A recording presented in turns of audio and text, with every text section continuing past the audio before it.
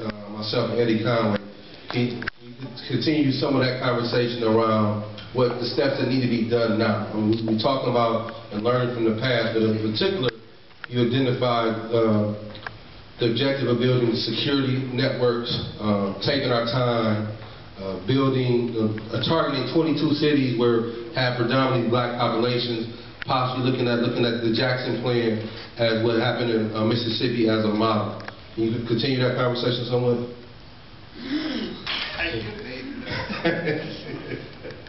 Well, when Amiri, Baraka was still alive. He said Get the twenty-six. mic. Get the Mic. mic. When Amiri Baraka, you know, was still alive, um, he had information and, uh, that African Americans are close to the majority or, or are the majority in twenty-six cities across the country, north and south. And that our effort should be to move in all ways to consolidate that power base.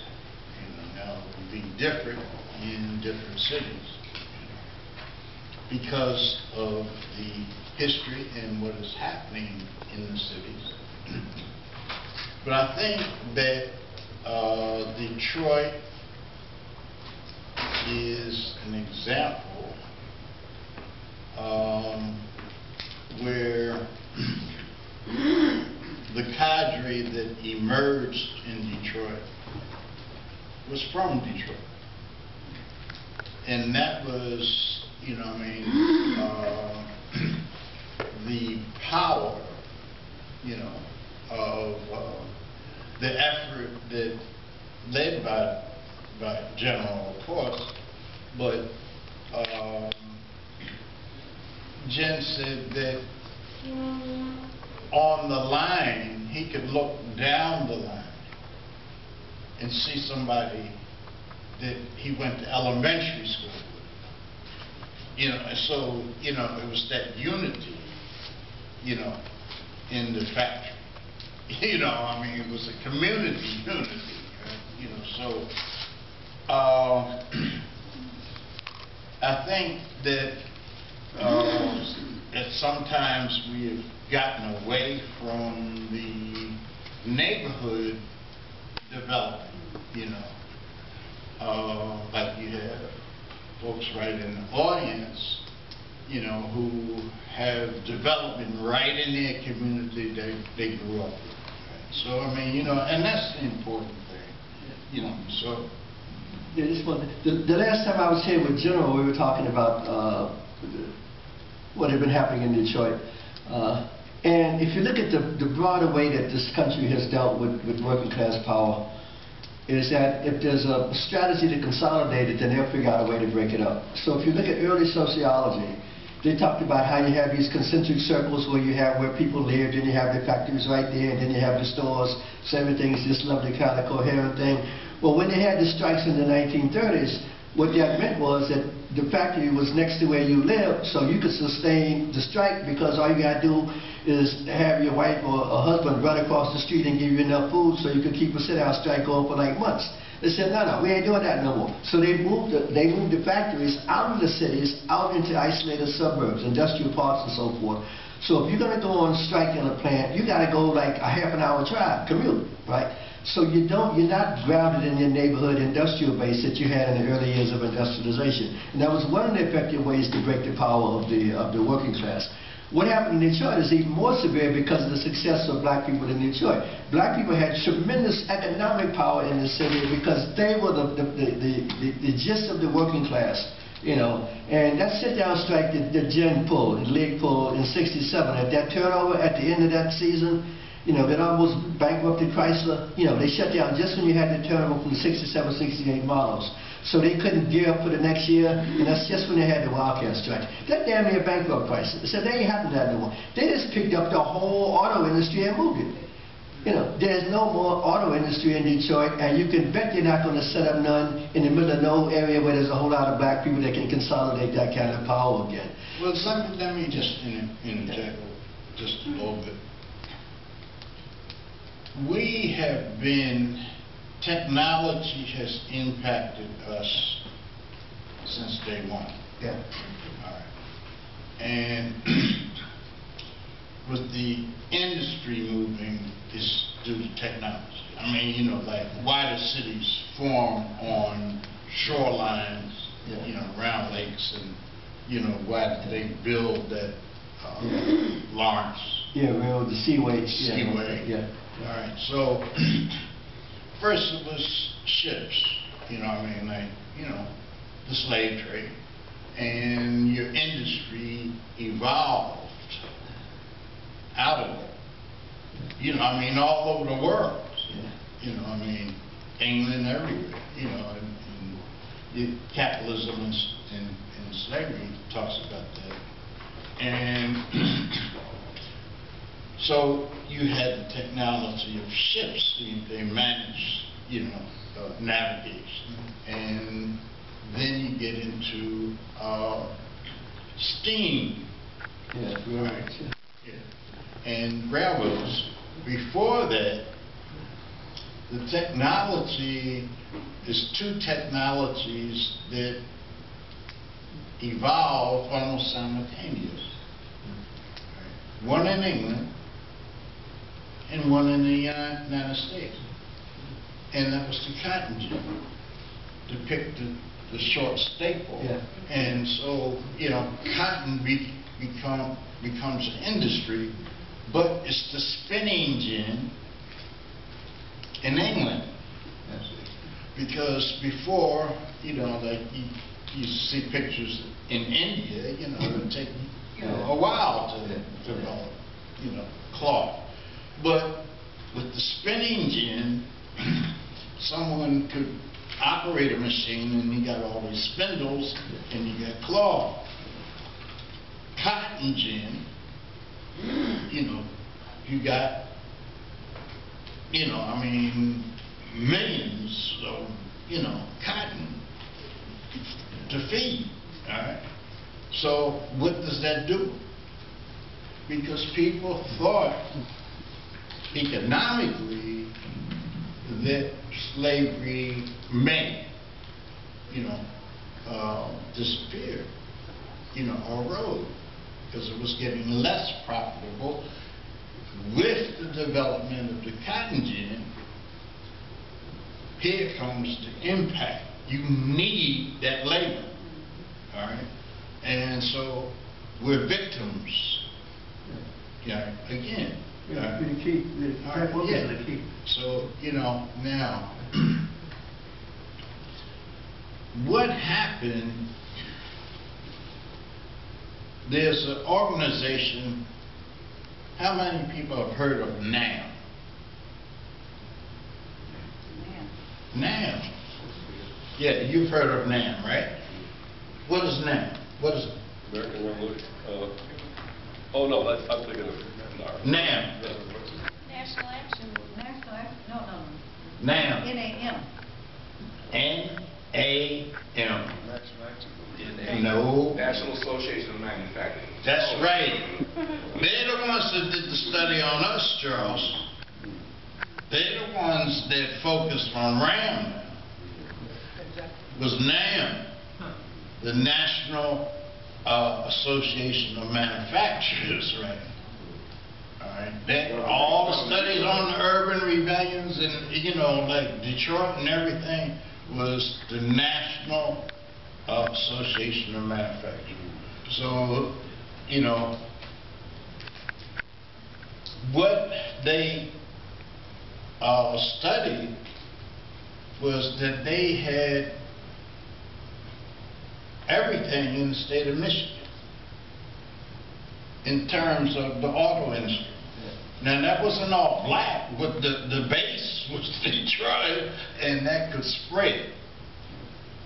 You know, and if, if, if white workers called on, they, you could shut the whole country down. Now, again, here's how we're victims of technology. We look at the space industry, they go up the space industry. I don't know why they doing it. One, they develop computers. Two, they develop alloys.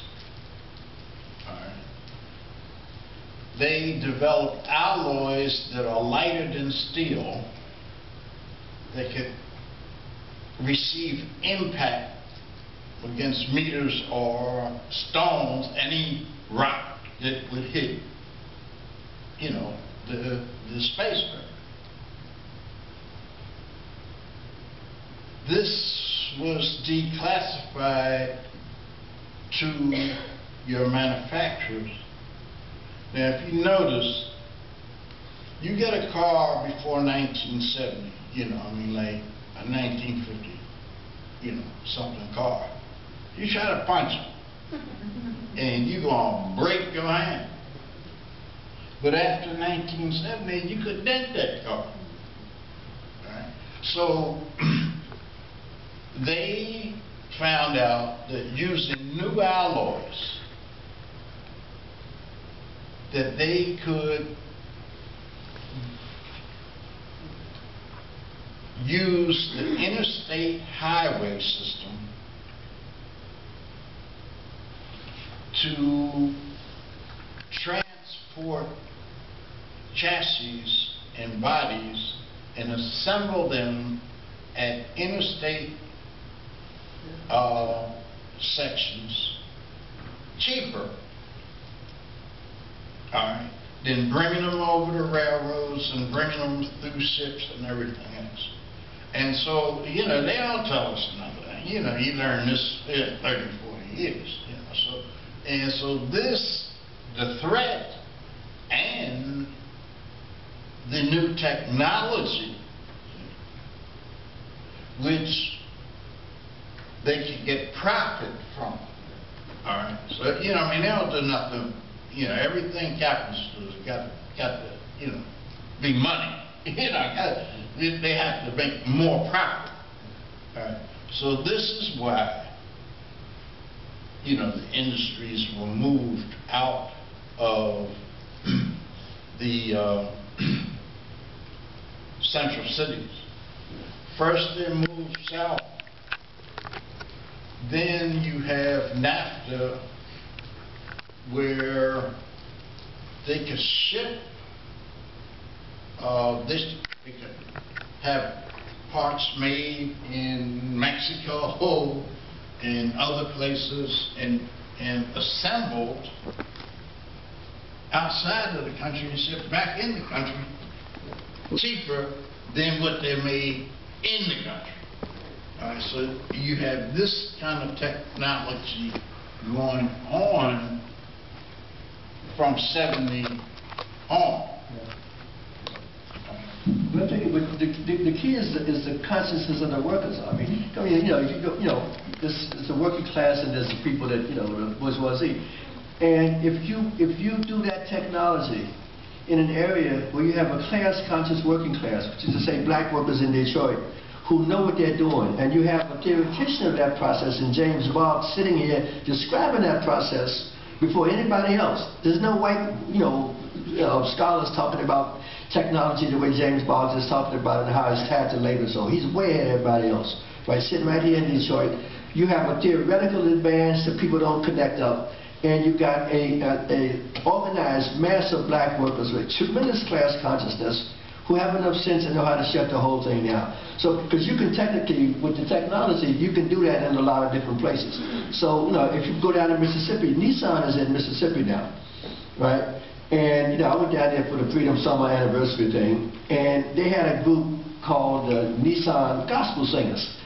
And so I asked, I asked the people, I said, uh, do, does, does Nissan, like, how do you get the name? They said, well, we work at the Nissan factory, and the, and the, the factory supervisor came to them and volunteered to provide them with uniforms and a van for free. But the thing says, you know, says Nissan on the beautiful road, you know, kente cloth and everything, and a big free band that says Nissan, and you point out, you say, my brother, aren't you having some labor problems with Nissan? They said, oh, no, no, no, Nissan is good to us. Right, where have we heard that before, right? So it, it, the, the key to Detroit is, is there workers everywhere who get exploited, but the question is in this particular place, because of the consciousness, they were aware of that and they were confronting that exploitation at a level that was nowhere else in the country, mm. you know? And so, you know, you take it from one set of workers, right to work states where white workers don't want a union. They sit down there, they proud they don't have no union, and they get dirt wages, and they think at least they're free or whatever, right? That's different from black workers in Detroit that said, no, no, this is the plantation. You know, this is a cotton field in a building. Right? It's that consciousness that the working class is terrified of. Because you remember, they offered Jen and them $10 million to set up a labor institute if they would stop organizing. Right? Yeah, I don't know, they, they, they turned it down, so they go nowhere. But, you know, the, the Bureau of Labor, you know, came to them and said, look, we will pay you to study the problems of black workers, but since you get government money, of course, you can't do political activity Come on. Come on, you know, it's like the Ford Foundation offers that money when we have had Northwestern to start Black Studies. We'll give you $5 million if you do it this way. He said, that's okay, we'll do it our way, and we're not doing that, right? I would say it, it, it's, it's black people that have the class consciousness, right? That's the problem in the country. It's not, it, if white people had the class consciousness that black people have, you'd have a working class consciousness. Yes. Right? African Americans will join any union that will let them in. We got a high percentage of unionized population of any group in the country. We've never hesitated to organize as working people. You know, whether it's a slavery vote all the way down, and it's, it's the lack of class consciousness in the general white population that has retarded socialism in this country. Not because black people are backwards. You know, it's that they just don't wait. They say, we can't wait for white people to get their heads together before we move. Right? And in Detroit, you get the, the perfect kind of configuration of those things. You know, when you get, in fact, a working class that can support independent black politics. That's why you couldn't shut them down. That's why you have Cleage here. That's why you have Motown here. You know, that's why you can do stuff that's way to the left in most countries because you have an economic base where they can't rock you. Right? That's why Detroit looks like it looks today. They said, no, no, no, you will never get this kind of power again. Right? So they're literally dismantling the city and they're going to build it up again, but not like it is before. Because the way it was before is too much power in black people's hands. You know, just like they're doing in D.C. now. You know, you're breaking up power blockers. And you say, no, no, no, no, no, we're going we're gonna split this stuff up. Again, no more black mayors, we're going to get you, uh, now you got the transitional kind of technocrat mayors, like you get like a, a Cory Booker or Michael Nutter in Philly, or the guy they had in D.C. These are basically, kind, you know, Obama is president. Th this is that generation of technocrats right? They don't really have any loyalty to anybody other than the class that put them in power. They have black people that put them in power. They're coming in there with white money and they're coming in as millionaires, right? And they're a transitional group to see how this thing is going to shake itself out. And we should not get confused by that. You know, because the key to the thing is the power on the bottom. So young people moving today, if they continue to move, it's going to reshift that dynamic from this kind of corporate everything is going to line up thing. You know, but you're not likely to get that configuration in terms of the economy again because industry has been so dispersed worldwide. You know, that the major strikes are going to be in, in, in China, they're going to be in Nigeria, they're going to be in Brazil, they're going to be in South Africa, where industrialization is taking hold in a mass, mass kind of way. Well, the struggle, you know, is, is a two-line struggle all right? And so I think we need to look at Newark, what's happening in Newark with Ras Baraka. Baraka. And also what happened in Jackson, Mississippi, you know. And that took 27 years, folks. You know, I mean, they were down there, for, you know, with Chokwe for 27 years. So it looked like automatically Chuck Wade became mayor.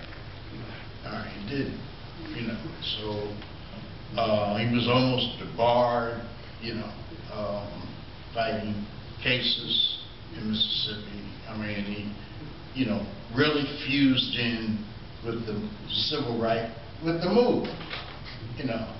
And you have a lot of snake people down, you know, who are still, they're everywhere. And, yeah, still there. And so, uh, you know, I was at one reunion, and, you know, he, you know, got this, the endorsement. You know, uh, first as city councilman, and then when he went to run for mayor. You know, so I've seen Chokwe come out of two churches. You know, I mean, you know, eh, you know, I mean, you know, I say, man, you know, he, and he said, wait a minute, he's talking to church people, you know, you know, so he had, that was his base now, you know, so, and so, uh, that's twenty-seven years. Okay. So they would, you know, the JK plan, uh, had economic, uh, basis of co-ops and, um, urban gardens. And, uh, the, they were, uh, it started when he became councilman. He started holding these meetings and it evolved into, uh, a people's assembly. And if, you know, I mean, it's online, you go there, I mean, it's like showing up folks, you know, I mean, this ain't no political, you know, political folk, you know, I mean, you know, traditional political folks, this is the folks, you know. So it's a mass, you know, they had done some mass organizing. Now, we see the Black Lives Matter is very important, that is raising, is putting the question of racial oppression back on the political agenda, you know, back into, the you know, so it's raising some consciousness. It's spontaneous, as any movement, it has all kinds of contradictions, but it has, it is mobilizing a section of young people, you know. But where does it go from here? Where do we go from here? And we feel, you know, in Philly, I can just, you know, speak for some folks that, you know, um, some uh, older activists and young activists, and uh, including Yusef, you know, we've been discussing, you know, uh, building a base. Now, your industrial base is gone. Your industrial base is gone. James saw that in 1963. I used to lay on the floor at 3061 trying to grasp what he was saying. But, I mean, he, he was talking about 30 years that he was witnessing this automation and cybernation process. You know, we, it didn't hit, really hit us until about the 80s. You know, I mean, like, hey, this is it, you know. So where do you go from here? But now, wherever I go, I ask, you know, like, is everybody unemployed? No, everybody's. Yeah. Do you, are there jobs around? Yeah. there is. Okay. I ask, you know, if, if you're poor, is there construction being, going on in your city? People say, yes, construction all the time. I said, well, who's doing the construction? You know, and look, it is, you go all the way back to Du Bois.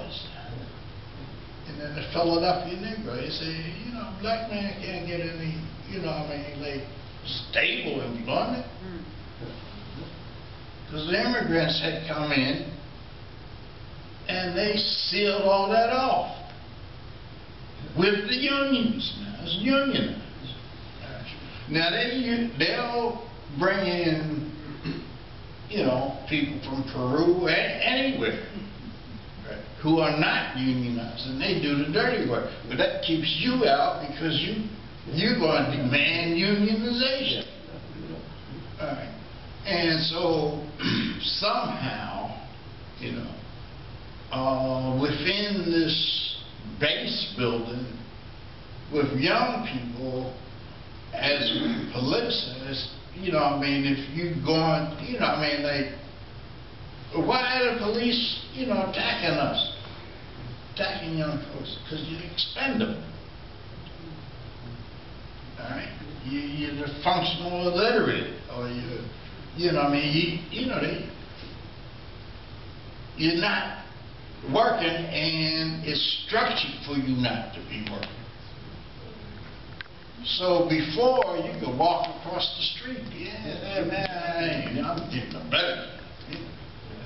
Now, you're gonna have to fight. Young people are gonna have, African Americans are gonna have to say, hey, man, you know, it- it- you got these jobs at our expense. And it's gonna be rough now. Those unions are racist. And they play Democratic and vote Republican. All right, you know. Yeah, yeah. So, so, yeah, I mean, I, you know, but you, so what you do is you, you know, you have churches, you have, you know, you set up and you have, um, journeymen all around. You set up training or apprenticeship programs. But research needs to be done on if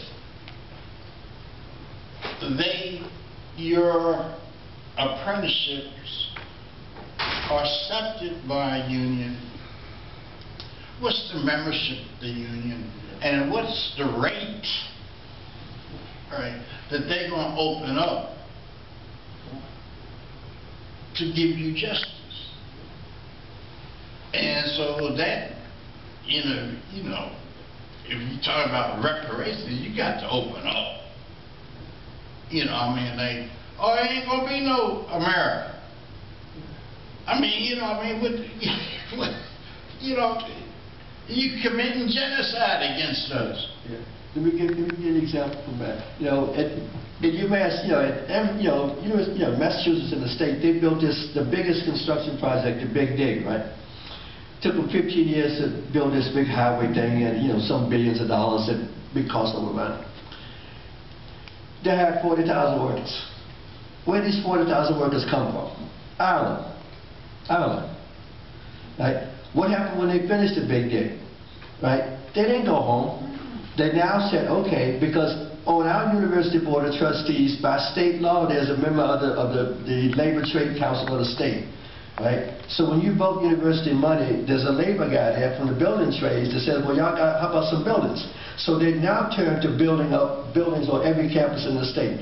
Our campus has built $300 million worth of buildings in the past eight years, right? Every class I teach, I have a student say, take your little cell phone, you take, find me a picture of a black worker. Find me a picture of a black worker, I'll give you an A in this class. Hmm. Find me a picture of a black worker. And I'm not talking about pushing the wheel, but I'm talking about a worker worker, you know, skilled labor, right?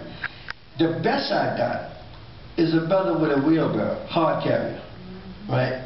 And exactly what Ox said, when they did our bill, they renovated a New Africa House with white labor right? The one day I show up at work, I see some brown people, Puerto Rican brothers. You know what they'd ask for? Asbestos removal. Mm. They got their hazmat suits on, the building, I can't go in the building because they got it all shrink wrapped and stuff. This is the deadly, life-killing kind of stuff.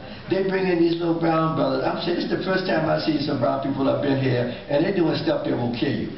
Right? I can't come in the building for a week till they suck all this crap out of the air, right? Then the white guys come back after the building's clean, and they get the skilled labor job. They build the elevators, they do, they do the masonry, they do the windows, they do, Every single building on our campus is built with that labor. Every single contracting company is an Irish contracting company, and those workers are still on work permits from Ireland. Ireland has the largest immigration quota of any country, you know, any country in this, in the world. Right, small as it is, they get 10,000 work permits, permanent visas every year. This is Kennedy's influence. That's why people love Teddy Kennedy. He looked after his people. I mean, I don't knock him for. He looked after other people, but his first, his base, his base was his people, you know. And so anything that moved, they were in there first with those kind of jobs. They're not thinking about letting no black people get those jobs. You know, and the reason the police are like they are and the way the fire department is like they are is because it's the exact same thing in our state too. You cannot find me 10 black policemen outside of Boston, anywhere in the state. You cannot find, there are only five black electricians in the whole state who are certified to be in the electrical union in the whole state, whole state. Right? Until you crack that, and that's, that's why the Democratic Party always ends up getting its clock cleaned. Right? Because they won't deal with race. If they had a principal position on race, and would deal with the fact that they're union-based in a lot of cases when it's not, you know, uh, service unions or black people, you know, women, right? Their traditional white labor base is conservative white men, right? And they hold on to them dearly. Obama didn't never won a primary in our state. Liberal Massachusetts, he never won a primary. Clinton, you know, Hillary Clinton beat him in our state in the primaries, right? And the head of the Labor Council, who was a friend of mine, a white guy named Haynes, went around, he came to me and said, look, you always give me crap about racism. I want to tell you, you're right. I have to go around. He went around to all the unions in our, in our state when Obama ran and said, I'm not going down behind this crap. He said, you, we are Democrat, we vote for the Democrat. I don't care what it looks like, you vote for the Democrat. He said, John, I never heard people call niggas so much in the. I walk into a union hall every state, and they said, he may be a Democrat, but he's a nigga. See, look, I ain't going down like that. So I ain't going down. He said, my grandparents brought me over here from Ireland, and we support the working class, and we support the Democratic Party. He's the head of the Democratic Party. You better vote for him. Right? Obama barely got over 50% of the white vote in our state.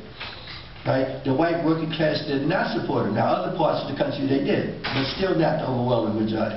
This is a white guy who's Irish, who dearly loves his people, and he came back and apologized. He said, I thought you was making up stuff, but I'm walking into a room of all white, my people, and all I hear is nigga this, nigga that. You know, we don't want no pool in the White House, da, da, da, da, da. And he said he nutted up. I mean, he cussed them all out. I mean, he went from, from town to town to town, trying to get consciousness into the white working class. That's, that's what we have to deal with. You know, and un- unless you get something on the white side bringing that up, honestly, st- hard-headed, straightforward, then, then you're not going to have, you're not, you're not going to have any kind of thing that will take on this country. Because the ruling class will play that, you know, good school, nice suburban things, safe neighborhood, da da da da da, which means white. You know, a good neighborhood is a white neighborhood. A good school is a white school, right? A safe neighborhood is white, is a white neighborhood. Everybody knows what those words mean, and that's true everywhere in the whole country. And until you confront that at the top, you know, if there's going to be a left, then you're not going to have any kind of problem. And you can't duck it by hollering about identity politics. You know, or why don't people organize them? Well, if you if you oppress me as a black person, I'm to organize as a black person. If you oppress women because they're women, they should organize as women to fight that. And that's not identity politics, that's common sense. Right? Until you get that honest discussion, there will be no social movement in this country that will transform this country. You know, we'll do the best we can, but until you get that, that, that understanding that this thing is connected, really connected, not just on paper. Everybody says it on paper, race, class, gender, race, class, gender, as if magically this thing is going to throw itself together. This is work. This is work you got to do.